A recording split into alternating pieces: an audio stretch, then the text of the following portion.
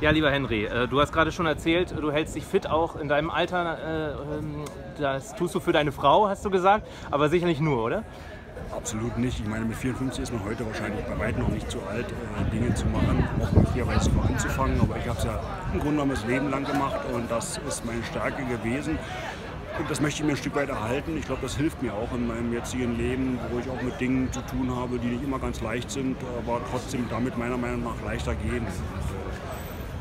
Sich gut fühlen ist ja auch ein tolles Gefühl, wenn es so ist. Jetzt haben wir bald WM.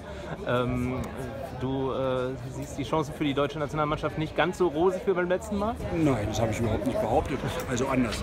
Also die, die Deutschen haben nach wie vor mehr als eine faire Chance, da vorne zu landen. Auf der einen Seite sind ein Teil davon dabei, die wissen, wie es ist, wenn man erfolgreich ist, wenn man da oben ist. Sie trauen sich zu, sie können sich zutrauen.